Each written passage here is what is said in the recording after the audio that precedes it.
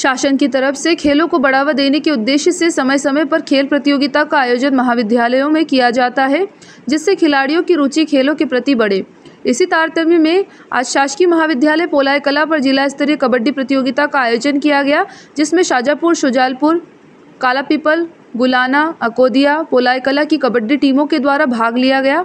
सभी टीमों के द्वारा शानदार प्रदर्शन करते हुए अपनी अपनी टीमों को सेमीफाइनल तक पहुँचाया, जिसमें शुजालपुर और पोलायकला के बीच में फाइनल मुकाबला रहा। फाइनल मुकाबले में पोलायकला विजेता टीम के रूप में घोषित की गई। वहीं उप के रूप में शुजालपुर की टीम रही।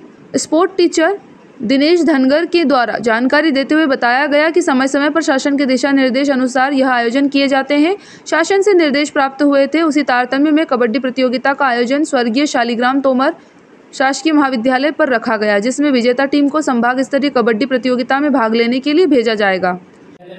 कबड्डी जिला स्तर का कार्यक्रम है। इसमें शाजापुर सुजालपुर काला कला महाविद्यालय की टीम पार्टिसिपेट कर रही है। इन महाविद्यालयों के आपस में जब मैच होंगे, उसके बाद यहाँ से संभाग स्तर पर जो टीम चयनित होगी इन्हें खिलाड़ी पोलाई कला से मुकेश शर्मा की रिपोर्ट।